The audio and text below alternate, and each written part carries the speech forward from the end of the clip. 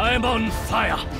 2023 год станет отличным годом для тех, кому интересна история Overwatch. Во-первых, в этом году наконец-то выйдет сюжетная PvE-кампания. А во-вторых, выйдет сразу две книги, в которых будет очень много лора. Давайте разберем эту пачку лорных новостей и немножко погадаем, чего можно будет ждать в плане сюжета. Но прежде чем мы начнем, я хочу в очередной раз поблагодарить патронов на Boosty, которые помогают каналу на уровнях Феникс и Повелитель Огня. Это Элоун, Богач, Каманов, Слайро, Александр Андреев, Кирилл Котлеров, Ренат Хафи Хафизов и Стив. Спасибо им большое за поддержку. Если вы хотите помочь каналу, то ссылка на Boosty будет в описании.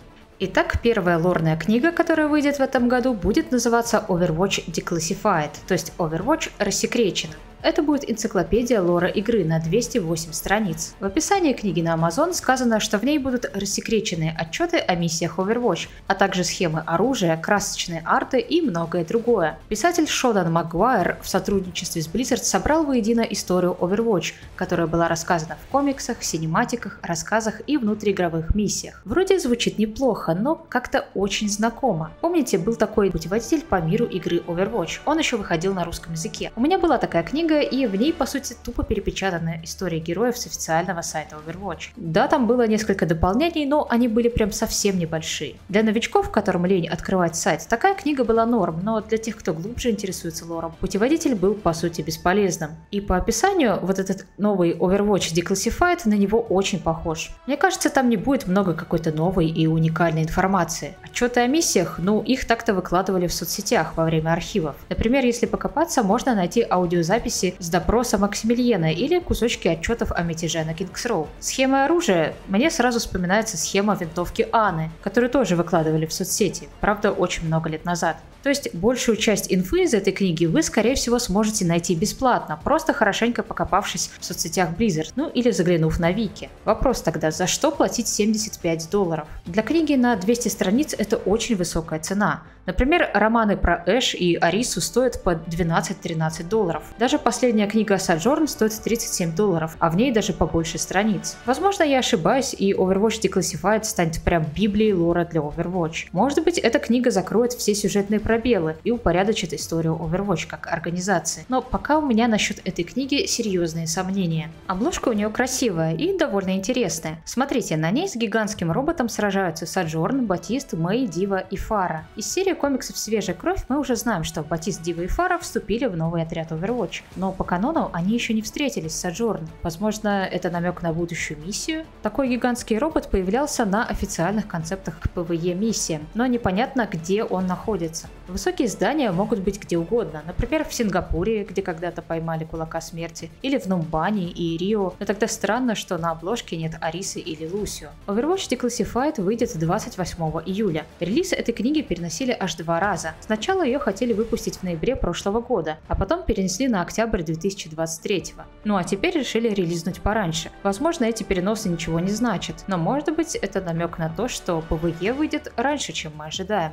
А вот вторая лорная новинка куда интереснее – 17 октября выйдет сборник из восьми новых рассказов. Пока известен синопсис только четырех, и все они очень даже интересные. Один рассказ будет про Ханза и нападение нуль сектора на Токио. Синопсис звучит так. На Токио обрушился дождь из десантных капсул нуль сектора. В это время Ханза слышит призрак своего отца и встречает кое-кого знакомого. Нуль сектор в Токио, вот это неожиданно. Обычно мы там видели больше какие-то внутренние разборки кланов, а теперь Японию затронул глобальный конфликт. Очень интересно интересная строчка про призрак отца Ханза. У нас буквально в сюжете появятся призраки или это какая-то метафора? В принципе, после Кирика и ее сущности в виде лисички я уже не особо удивлюсь, если во вселенной появятся призраки. И что за знакомый, которого встретит Ханза? Обратите внимание, что в оригинале говорится знакомое лицо, то есть пол персонажа неизвестен. Моя теория, что Ханза встретится с Кирика. Надеюсь, на этой встрече Кирика как-то отреагирует на то, что Ханза чуть не убил Гензи, с которым она когда-то дружила. В игре, к сожалению, диалога на эту тему нет, а только какая-то бормотня про оружие и тренировки. Второй рассказ будет про Эш и Боба, а именно о том, как они жили до восстания машин. Рассказ авторства Линдси Элли, той самой писательницы, которая выпустила роман «Банда мертвецов» про молодость Эш и ее знакомство с Кэссиди. У нас, кстати, на канале есть полный пересказ этой книги. Посмотрите, как будет время. Что интересного может быть в этом рассказе? Наверное, эта история лучше раскроет Боба. В «Банде мертвецов» говорилось, что когда началось восстание машин, Боб просто куда-то исчез, а через некоторое время вернулся омником самосознания. Дело в том, что когда омники услышали команду Анубиса о восстании, многие из них сразу напали на ближайших людей. Получается, Боб смог преодолеть эту команду и ушел куда подальше, чтобы не причинить вреда Эш. Возможно, новый рассказ как раз раскроет, как на него повлияли отношения с Эш. Короче, может получиться что-то очень милое и трогательное. Третий рассказ будет посвящен Симметре. Симметра отправится в далекое путешествие, чтобы вернуть ценную вещь Вишкар и старого друга. Тоже очень интересная затравка. Какая ценная вещь может быть у Вишкар? Мне сразу вспоминается звуковая пушка Лусио, которая раньше принадлежала компании. Но может быть речь идет о каком-то предмете, который мы еще не знаем. И кем может быть старый друг или подруга Симметры? Куда ее или его нужно вернуть? В Вишкар? Это персонаж из Индии. Очень много вопросов. По-моему, эту историю тоже тоже стоит ждать.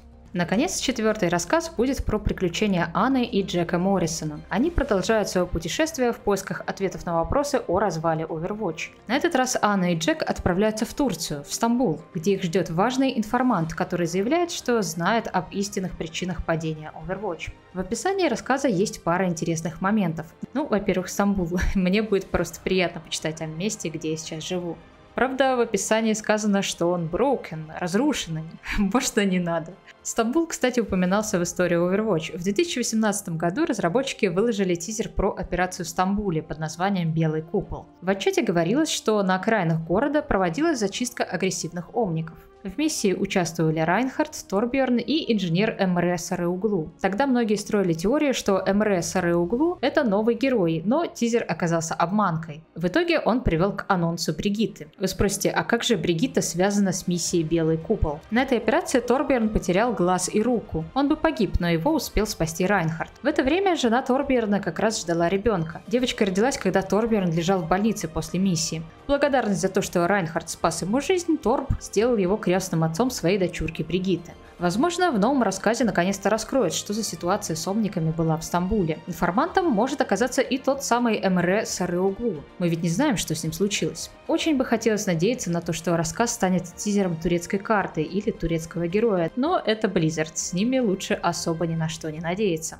Итак, мы узнали синопсисы четырех рассказов, а будут еще четыре, о чем они пока неизвестно. Однако в описании сборника есть кое-какие намеки. Цитата. «Эти и другие истории проливают свет на темнейшие уголки хаоса, творимого нуль сектором, в гуще которого принимаются важные решения и рождаются герои. Не пропустите истории о сражениях по всему миру, от улочек Нумбани и переулков Джанкертауна до высочайших этажей башни Линсян и даже самих звезд». Так, значит у нас может быть рассказ про Нумбани, Джанкертаун, Таун, башню Лидзян и звезды. Последняя может касаться лунной колонии Горизонт. Кстати, как и история про башню Лидзян, ведь там сидит руководство компании, которая и построила эту колонию.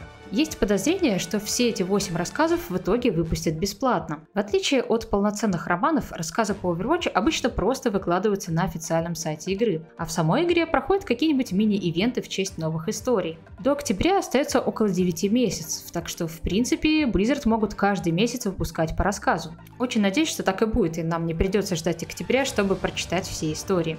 А что там с сюжетным PvE? Да, Blizzard до сих пор так и не сказали ничего нового про сюжетку в игре. Все только «да, работаем, сделаем в этом году». У нас на канале был большой разбор кусочков из PvE кат-сценок, которые показали в 2019 году. И в принципе сейчас это все, гадать больше не о чем. PvE точно выйдет в этом году, но когда именно пока не сообщили. Была инфа, что сюжетка будет подаваться порциями, возможно раз в сезон, но пока это все. И сейчас любителям лора остается только перечитывать старое, да слушать диалоги в игре и ждать, ждать, ждать.